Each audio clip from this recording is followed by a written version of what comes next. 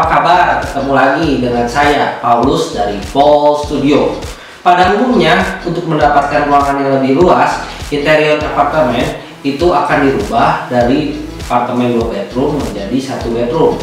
Tetapi, pada episode kali ini, kita akan berbuat sebaliknya, di mana apartemen satu kamar akan dirubah menjadi apartemen dua kamar. Wah, sempit dong. Nah, kita ada triknya supaya tetap terlihat lebih luas dan enak. Bagaimana caranya? Ayo simak desainnya sampai habis.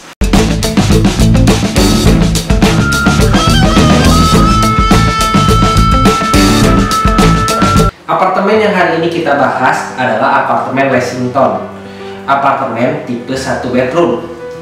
Layout denahnya adalah seperti ini. Pada umumnya furniturnya diletakkan seperti ini. Tetapi kekurangan dari layout furniture seperti ini adalah kita akan kesulitan menaruh lemari sepatu dan dispenser.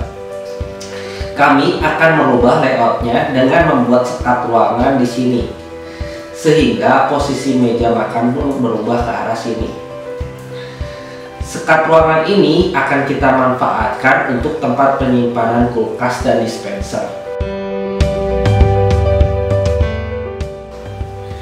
Di bagian tengahnya bisa dimanfaatkan sebagai meja makan yang bisa diekstensi seperti ini.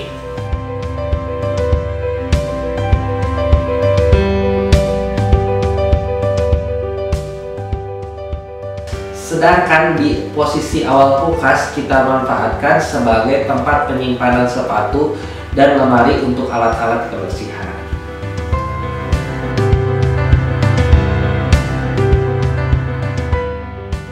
Lemari sekat ini kita akan tambahkan pintu penyekat seperti ini.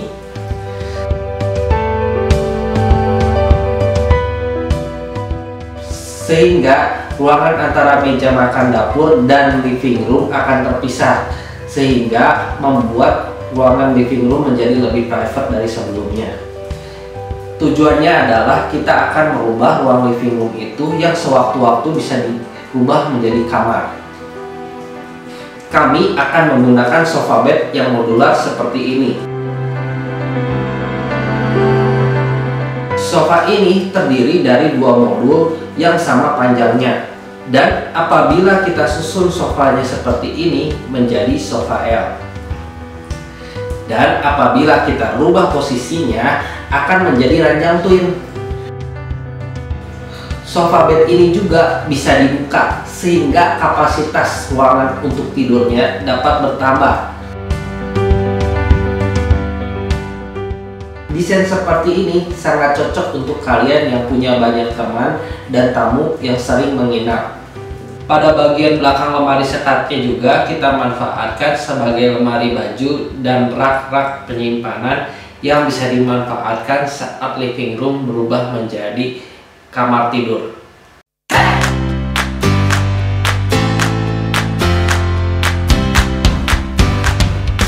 Berlanjut ke desain kamarnya. Pada bagian ujungnya kita letakkan lemari baju yang di sampingnya diletakkan meja rias dan rak.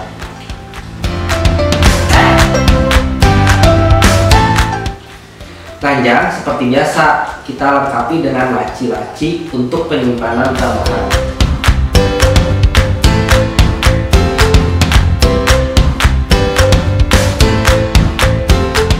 Sofa yang berada di ujung ruangan kita tambahkan dengan meja yang bisa digeser serta penyimpanan tambahan yang ada di ujungnya. Nah itu dia tadi desain interior apartemen satu kamar yang bisa dirubah menjadi dua kamar.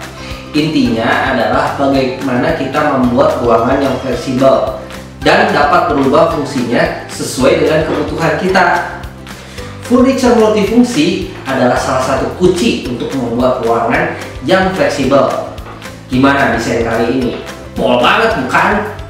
Oh ya, desain kali ini sedang dalam proses produksi.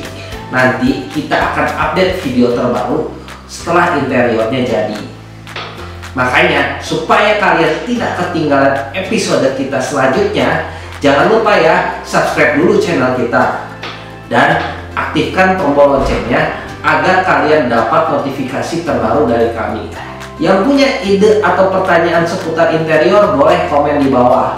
Nanti kita akan jawab pertanyaannya satu persatu.